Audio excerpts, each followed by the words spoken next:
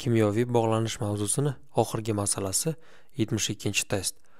Molekulalar tarkibidagi sigma va pi bog'lari yig'indisi ortib borish tartibida joylashtiring.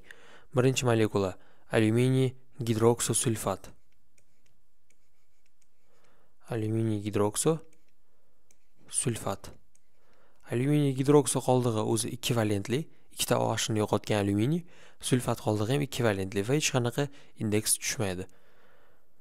Demak, bu yerda 5 ta kislorod bo'lyapti. 5 ta kislorodni 2 ga ko'paytirsam, har bitta kislorod ekvivalentli bo'lsa, 10 ta bog' bo'ladi bu yerda. Sigma pilani yig'indisi. Anorganik tuzlarda yoki kislotalarda bog'lar sonini topish uchun sigma pilani yig'indisini kislorodlar sonini 2 ga ko'paytirib qo'yish kerak. Faqat fosfit, gipofosfit kislotalar kelganda buni ishlatmaslik kerak va organik moddalar uchun ishlatmaslik kerak.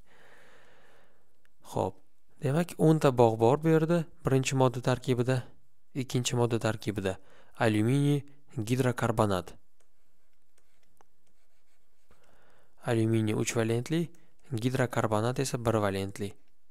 Gidrokarbonat bitta vodorodini yo'qotgan, shu sababli 1 valentli bo'ladi yoki minus bo'ladi. Alyuminiy esa 3 3 plus bo'ladi. 0 bo'lish uchun bu gidrokarbonatdan 3 ta kerak. Bu minus. Endi 9 ta kislorod bor. 2 ga ko'paytirsam 18 ta bog' bor. Sigma pilani yig'indisi. Uchinchisi alyuminiy sulfat.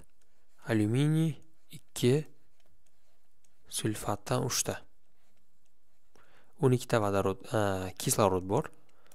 2 ga ko'paytirsam 24 ta jami bog'lar soni bo'ladi. Alyuminiy sulfatda. 4-modda alyuminiy fosfat. Alyuminiy PO4 fosfat qoldig'i ham 3 valentli, alyuminiy ham 3 valentli. Demak, 4 ta kislorodni 2 ga ko'paytirsam 8 ta bog' bor. Ortib borish tartibi. Eng kami 8 bo'ldi, ya'ni 4-modda 4 Undan keyin 10 10 ta bog'ga ega bo'lgan bu birinchi modda. 4 1 va 18 ta bog'ga ega bo'lgan ikkinchi modda.